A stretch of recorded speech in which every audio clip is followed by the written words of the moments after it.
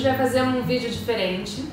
Estou aqui com as meninas da FP Atelier, Paulinha Beato e Fernanda da Mata. E a Paulinha tá noiva, então a gente pensou, por que a gente não faz um de noiva para noiva? Então, para você dar suas dicas é, e contar um pouco da sua experiência como noiva para as nossas leitoras, mas com o diferencial de que você trabalha com isso. Então, a organização do seu casamento é diferente de uma noiva normal. Com certeza, sem dúvida nenhuma. Bom, vamos contar então é, o básico, assim. Onde você vai casar, quantas pessoas, horário. Esse é um problema já. É, bom, eu vou casar, eu optei por casar na Ípica Santa Amaro porque eu queria muito casar em casa. Eu já tinha esse sonho de casar num lugar aberto, verde e tudo. E na casa do Vitor, que ele mora em casa, é, não daria pra comportar é, a estrutura do casamento que a gente queria fazer. Então eu acabei, eu fui em vários lugares, o lugar que eu mais gostei foi a Ípica. E aí logo já defini que seria lá. Desde o início quis o horário do almoço, porque justamente isso, eu queria muito aproveitar a, a luz do dia, o verde, enfim, abusar um pouco desses elementos. E aí eu marquei meio de e-mail, vai ser um almoço, enfim, dure até muito tarde. Esse, esse horário é um horário, digamos que foge do comum no Brasil, né? As Uhum. pessoas não têm o hábito de casar de dia, normalmente é de tarde, fim de tarde, e aí vai até a noite. É, como que você acha que esse horário influenciou em outras decisões do casamento? Ah, eu acho que acaba influenciando um pouco de tudo, né? Na decoração, porque a gente tem que pensar em elementos que ornem com, com horário, abusar da- da- das flores, do verde, porque na, na luz do dia tudo aparece. Então a gente tem que dar uma caprichada nessa parte. E então, falando sobre decoração, vai. Já que vocês trabalham com isso, imagino que deve ter sido difícil tomar essas decisões de. Ai, não sei, desde a cor ou não. Você já tinha alguma coisa que você sonhava? Vou te falar que eu, eu precisei muito da Fê pra organizar minha cabeça, porque eu gostava de um pouco de tudo, assim. Eu tinha mil referências, mil coisas. E, e a gente que trabalha com flor, né, cada dia a gente Ver uma novidade. vê uma novidade, cada dia você tá embodeada de uma flor, depois volta a gostar, Teve, entendeu? teve, assim, por exemplo, alguma coisa que você sempre pensou pro seu casamento? Porque eu tive. Uhum. Você sempre pensou pro seu casamento e aí você fez, realizou pra alguém?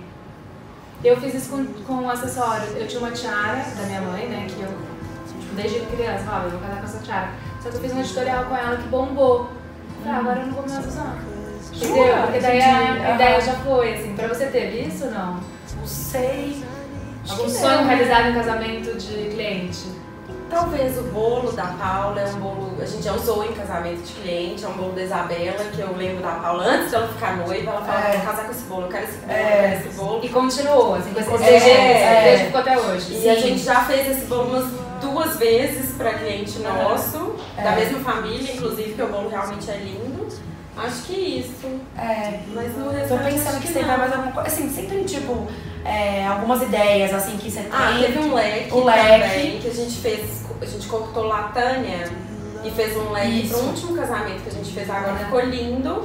Colocamos dois, dois Penduricários. penduricários, ficou fofo. E aí a gente não vai, Adotou. Ah, aí não vai usar, É. vai fazer um outro leque mais legal. Tá. É, mas era uma coisa assim, na hora que eu fiz, eu falei, ai, tipo, pô, poxa, eu queria fazer no meu, mas eu não vou repetir, entendeu? Sim. Sendo que até próximo o casamento do outro é muito minha amiga. Sim. Eu falei, não, vamos, vamos deixar a ideia aqui É. e vamos desenvolver alguma outra coisa. Pra não ficar muito parecido. Umas coisinhas assim, sabe? Mas no geral eu acho que. É... Mas pra você, era definido, assim, eu- tipo, você acha que você tinha uma imagem do seu casamento super clara? Do que você sonhava, do estilo que você queria? Sim, do estilo, sem dúvida. É, eu acho que eu sempre quis uma coisa mais orgânica, né, Fê? Uma coisa mais assim. é, abusando muito de, dessa coisa da natureza, sabe? Então, tipo, tronco, raiz, cipó, essa coisa mais assim. Então, é, assim, eu sempre falei, ah, eu vou casar num jardim. Eu me lembro quando eu, era, quando eu mudei pra São Paulo, que eu devia ter uns 15 anos, eu fui correr no Ibirapuera um dia e tava montando um casamento lá. Eu falei, quando eu casar, eu quero casar aqui. É, eu, eu falei, eu nunca mais vi um casamento no Ibirapuera, mas eu lembro que teve, não sei se, às vezes nem foi casamento, mas assim, tava montando uma estrutura tão linda. E eu falei, eu vou, eu vou casar aqui. Então eu fiquei muito com essa coisa do verde em mim, sabe? Então isso era a primeira coisa que eu sabia que eu queria muito. É, Tem algumas flores, eu acho. algumas flores específicas que eu sempre gostei muito. E aí eu escolhi, mas né, tipo, a gente sempre coloca uma orqui- orquídeas e orquídeas e orquídeas, né? aquela coisa maravilhosa.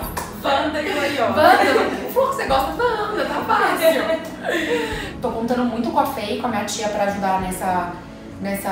Vamos só explicar então. A a Paulinha é, é sobrinha da Valéria Leão Bittar. Então, vocês estão assinando esse projeto juntas. Isso. A FP junto com a, com a Valéria. Isso. Tá. E Paulinha deu muito trabalho como noiva? Deu. Bastante. Por quê? Não, eu acho que até por conhecer mais o mercado e tal. Eu, hoje em dia eu acho que ela tá dando zero, mas eu tive a sensação que no início ela tava. queria fechar. Entendeu? Queria resolver, queria resolver, queria resolver. Mas agora não tá dando. É. Cada vazia. Não, eu acho que nos detalhes eu sou bem tranquila, eu confio muito no bom gosto das duas, então assim, não tenho nem o que discutir, então tá falado, falou, tá falado. Por exemplo, a minha, a minha tia, a gente tinha colocado tudo sem, to- sem toalha, né? Tipo, tudo na mesa. E ela falou, mas lá é muito grande, você entra, sabe? Tem que ter uma coisa, acho que tem que ter toalha um pouquinho algumas vezes pra trazer um aconchego. Ai, não gosto de toalha, não gosto de toalha, não gosto de toalha. Não, confia em mim, tá bom, confio, fazer o que você quiser, entendeu? Então assim, acaba que. Isso é bom, né? É. Gente, eu acho tão importante você é, contratar profissionais em quem você confia. Sem Porque dúvida. senão você vai ficar aflita em todo o processo, né?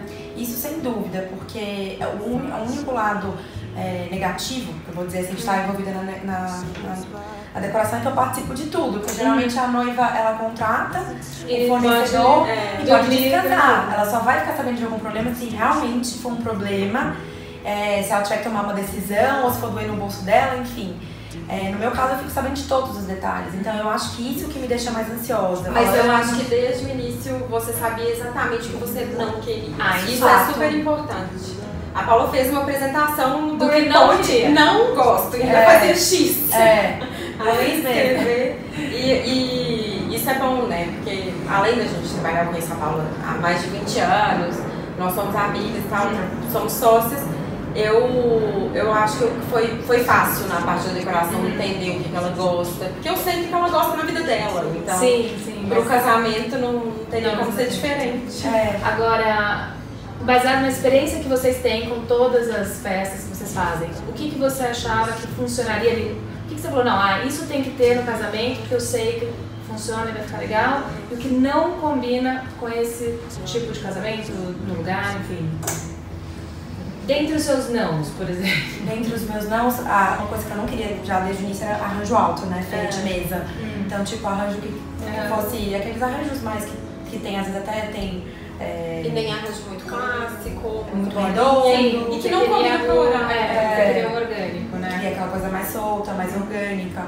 E. Mas de layout, de. De layout, sim. Tem uma coisa que eu, que eu falei muito com a Paula, a gente tem espaço pra que remontar a cerimônia? Porque num casamento de dia, uma remontagem, ela pode ser um transtorno. Ou a gente teria que fechar aquele espaço e não tem por que fechar um lugar que é todo verde e tudo mais. Então a gente vai assumir a cerimônia e deixá-la lá.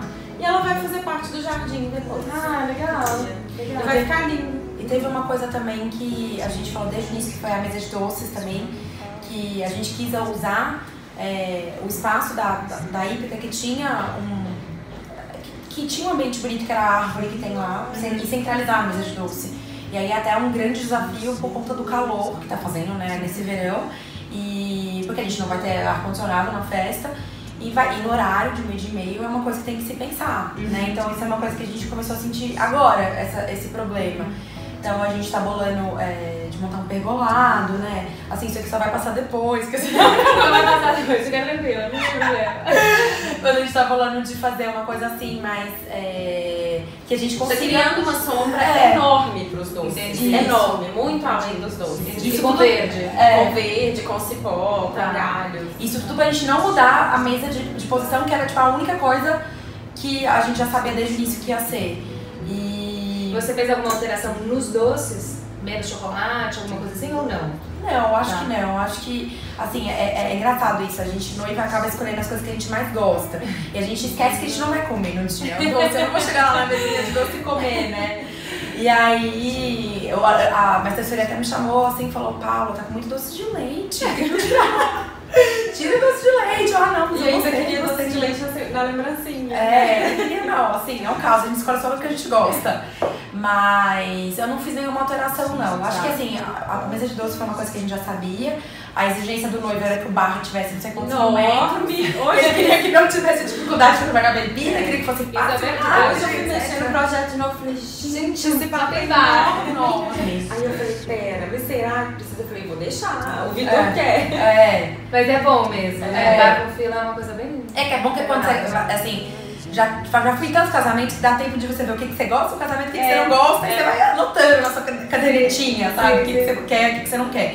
E aí a gente já foi em alguns casamentos que era muita fila, e falava, não quero isso no meu casamento, eu quero chegar, pegar bebida e ponto. Então tá bom. Então acho que foi isso, né? As coisas de layout. E aí também a gente, a, a, a gente optou também de não é, usar tanto dentro da casa pra festa, mas assim, a varanda a gente vai usar pras mesas, mas dentro da casa vai ser mais assim, um lugar, um apoio. um lugar de apoio. Isso E a gente tá trazendo que- tudo pra, pra frente, né, Fê? Isso foi uma coisa até que a gente sentiu num casamento, que eu e a Paula fomos, fomos convidadas, a gente foi na hípica num casamento, e a parte da varanda, ela tava assim, usada do início ao fim, sabe? Ela tava ocupada. Aí a gente falou, vamos usar a varanda sim, porque esse foi um lugar que todo mundo gostou. De dia é uma sombrinha a mais, é mais É, fresco e tal. Verdade. E assim, eu amo aquele casarão, eu acho ele lindo, porque tem, acho que tem a ver até um pouco também, porque eu sou de Minas, tem a cara de uma fazenda de café, é. né? Então minha mãe, a primeira vez que ela entrou lá, ela falou, ai, quero aqui o casamento, sabe? Então a gente não quis mudar muito dentro a cara que tem, sabe? Óbvio tem colocando móveis, etc, mas não vai tirar muito essa cara Uhum. que tem, sabe? Agora, verdade, você é de Minas, ele é de São Paulo, e os dois têm ascendência libanesa. Uhum. Você falou que vai ter um toque libanês na, na mesa de. Não, era na mesa de doces? Tá ah, não. No assim. menu, onde que era? Era no menu. No menu. Tá. E mineiro, vai ter alguma coisa? Vai, vai. A gente tá. Eu tô numa mistureba de. de, de- É, mas é Brasil, É, né? é.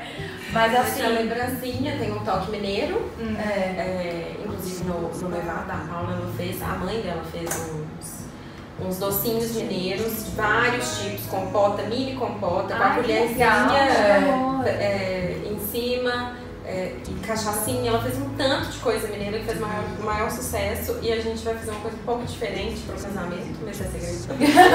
Não, vem depois. Vem depois. É uma mini goiabada que tem uma madeirinha. Ela é bem mineira, ela é uma goiabada em miniatura, tipo goiabada cascão, que vai ser de lembrancinha, além do bem casado Aham, e tal. E o Bem Ah, Casado também a gente tá com uma fornecedora também que, é- que a gente adora de Minas e que ela faz uns bem casados diferentes. Então ela faz Ela um goiabada. recheio de goiabada, um recheio de Ah, doce de leite. também. Então, é, de doce de leite, claro, mas assim, ela faz uns, uns estilos diferentes.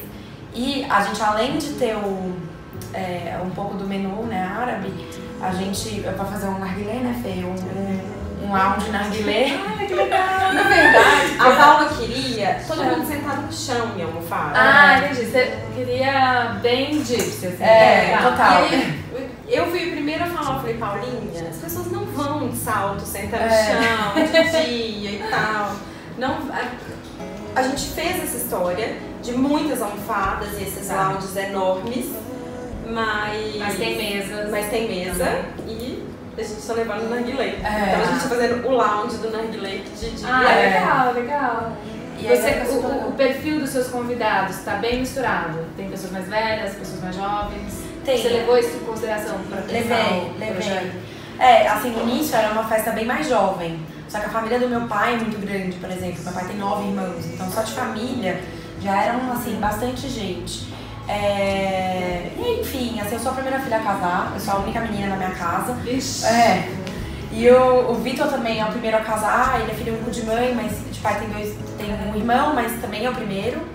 É, então, assim, acho que eles fizeram questão, eu acho que acaba, que acaba sendo uma celebração dos dois lados também. Das famílias, né? Então a gente também não, não ficou nessa de, ah, não, não pode, não vamos. No início eu até fui bem firme, não, tem que cortar, tem que cortar. Porque a gente tinha uma ideia, né, de ser para 400 pessoas convidadas. E aí depois, é, e a gente queria assim, 400 pessoas convidadas, sendo 350 eram nossos, 50 era da família. E aí depois eu falei, ai, Vitor, não vou me estressar não. Aí a gente liberou e aí acho que ficou bem dividido. Só que isso que é o bom de um casamento de dia. Que eu acho que aí divide bastante também, porque eu acho que vai ter dois turnos ali de pessoas, porque tem muita gente que às vezes não é tão próximo, não chega na hora da cerimônia, mas chega no final do dia, aí chega mais pra hora da balada.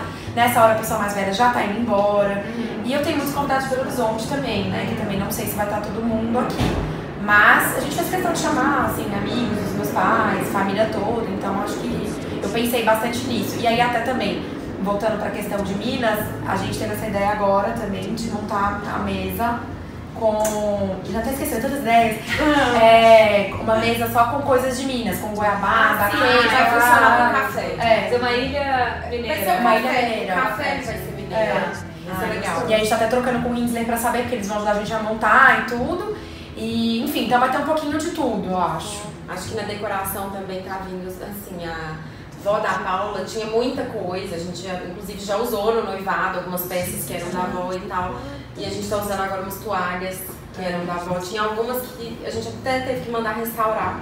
Que a gente levou na mesarinha, elas vão, vão deixar novinhas em folha pra gente usar. E são lindas, elas. Não, e tem um outro significado, Total, né? né? Sem dúvida. E na cerimônia, eu, eu acho que um dos primeiros pedidos da Paula, nem sei se ela lembra, mas eu acho que ela já me falava isso também antes de ficar noiva. Falava que queria hortência. Quando eu casava, eu quero hortência. É. Porque quando eu era pequena, o meu avô em punta ficava chocado com as hortênsias. Aí é uma coisa que ela ainda quer. A gente está estudando a melhor forma de usar as hortênsias já como flor, que ela não resiste muito ao calor. Sim, verdade. Inclusive, é uma curiosidade, mas a hortência é uma das poucas flores que pode pegar água água na exatamente na né? pétala. É, então a gente está estudando em usar de vaso, mas a gente sabe que se a gente usar a gente vai ter uma perda de parte, porque durante o dia a hortência realmente não aguenta, mas a gente vai conseguir fazer o jardim de hortência. É. cerimônia. Se não for na cerimônia, vai ser em algum lugar, É. entendeu? Porque eu tenho Ela vai assim, existir. É, É, uma, uma flor que tem, também, de novo, tem significado. tem significado, sem dúvida. Agora vamos falar, então, pra finalizar, buquê. Porque vocês, além de fazer as decorações, tem a parte da FP Ateliê que faz buquês de noivo, né? Sim. Tinha alguma flor que você já imaginava no buquê? Você já sabe como vai ser o buquê? Já, já meio que falei com a Fê. Eu acho que eu vou fazer um buquê só de orquídea, né? De várias espécies. Ah, é, que lindo! bem soltão, né? A gente vai fazer na prova pra ver como Tá. vai ficar, até É. a textura do vestido, né? É, Ai, que legal! Mas um buquê bem forte, bem chamativo. é. E até porque a gente tá pensando numa cerimônia mais é, neutra, Aham. assim, com a decoração no geral. Então, eu acho que vai ser um buquê mais forte. Mas tem que ver também se vai ornar com vestido, Ah, né? é. Tudo mais assim, eu acho que é.